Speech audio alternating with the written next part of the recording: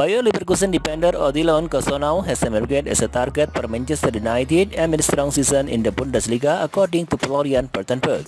The 22 years old has been highly impressive alongside Jonathan Tah and Edmond Tapsoba in the back three for Leverkusen, who are currently 4 points clear at the top of the Bundesliga. His performance have not gone unnoticed, with Plettenberg claimed that United have added him to their extended summer shortlist. He is not a top target, but they are monitoring him.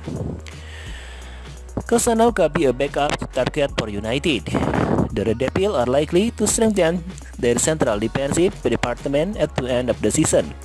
Rafael Varane could leave on a free when his contract expires in June. A right-sided centre-back could be priorities. The star Jean Claudio seemed the priority choice for the club, while they are also keeping tabs on Benfica sensation Antonio Silva. If they fail to pursue their preferred transfer target, they could consider Odilon Kossounou as a fullback option. Consideration his fine display for Leverkusen in the current season.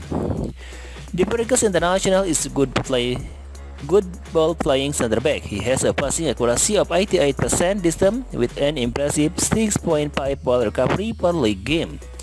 Odilon Kossounou has also won 54% of his duel per appearance alongside 1.5 tackle, 1.5 interception and 1.7 clearance. The 35 million pounds Red Star is an all-round defender.